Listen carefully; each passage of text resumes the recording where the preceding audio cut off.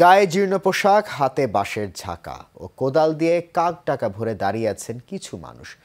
অপেক্ষা শুধু নিজেকে বিক্রি করা, তবে দাস কিংবা পণ্য হিসেবে নয়, বেচাকেনা হয় শ্রমিক হিসেবে। শ্রম বিক্রির হাটে এরা সকলেই পণ্য। তথ্য প্রযুক্তির এই যুগেও ক্ষুধা আর দারিদ্রতার নির্মম আঘাতে নিম্ন আয়ের মানুষগুলো আজও নিজেকে বিক্রি করেন শ্রমের হাটে। পাবনা থেকে মোহাম্মদ ফজলুল হকের রিপোর্ট জানাচ্ছেন অরিন ইশরাত।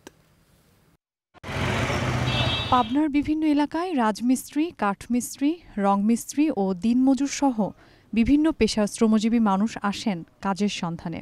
কাজের সন্ধানে সাত সকালে শ্রমিকের এমন হাটগুলো দিনমজুর বা কামলার হাট নামে পরিচিত। দ্রব্যমূল্যের দাম বৃদ্ধি থাকায় পাঁচশো ও ছয়শো টাকায় শ্রমিকদের পাওয়া যায় না বলে জানান শ্রমিক ক্রেতারা। চারশো টাকা হাজির কাজ করতাম তা আল্লাহর মেহরবানি খুব ভালোভাবে চলে পাইতাম আর এক হাজার টাকা যদি কাম করি, তাও হচ্ছে না। লাইবারি মারা আমরা কাজের জন্য। কোনোদিন কাজ হয় কোনোদিন কাজ হয় না। অনেক দিন আছে অনেক দিন কিছু সময় খায়াও যাচ্ছে না খাওয়া যাচ্ছে দিন। এ দুঃখ কার কাছে কম কন?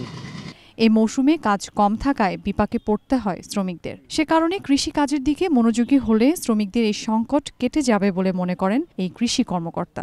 যেসব এলাকায় এখন গম কর্তন চলছে সেখানেও এই লেবারগুলো ব্যবহার করে আমরা দ্রুত লেবার সংকট দূর করতে পারি সেই সাথে লেবারের জীবনমান উন্নয়ন করতে পারি। শ্রমের হাটে আসা অনেকে বিক্রি হলেও কিছু থেকে যায় অবিকৃত। Arin Ishrat Asian television.